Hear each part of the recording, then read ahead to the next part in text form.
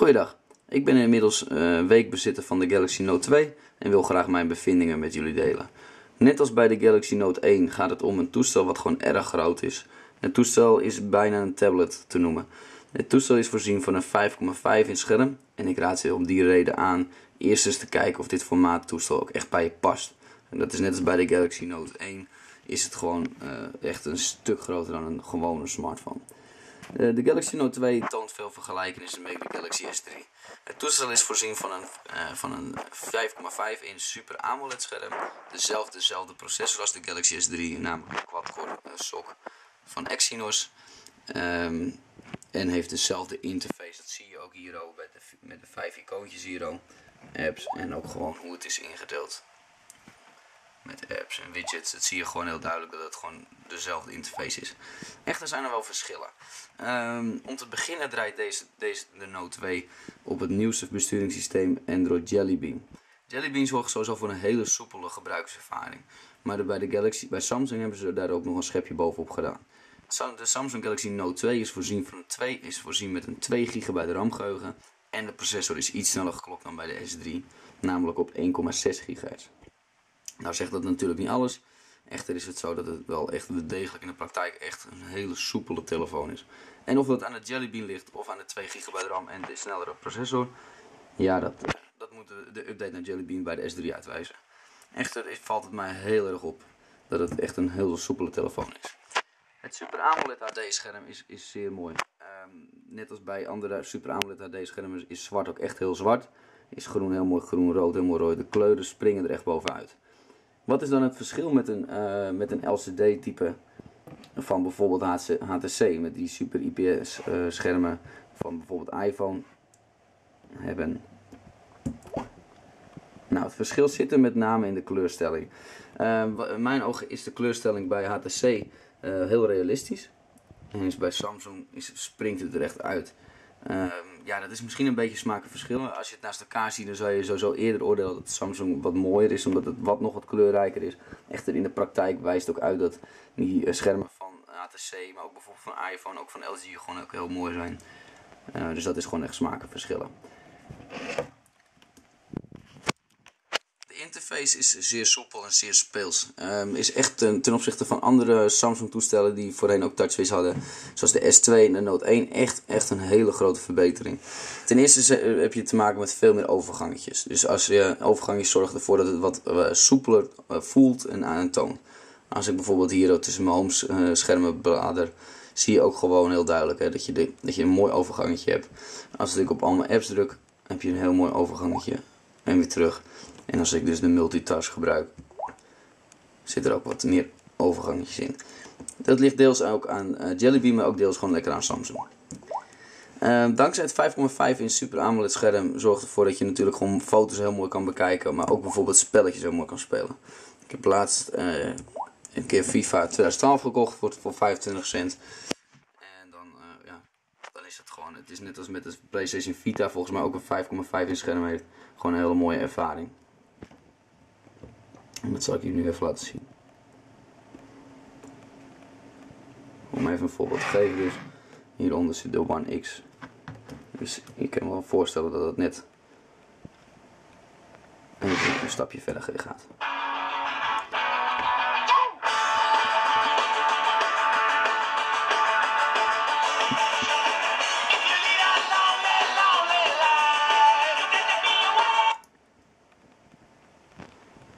Omdat ook de kleuren gewoon heel mooi uitkomen op dit scherm. En ook bijvoorbeeld uh, met dit voetbalspel, bijvoorbeeld groen is, echt dat groen ook heel groen is. Zodat het gewoon heel mooi eruit komt. Dankzij de processor is het gewoon een hele mooie ervaring. Maar het is ook heel moeilijk te spelen met één hand. Dus hou ik het kort. Made a good run there to find himself some space. Oh, that is good defending.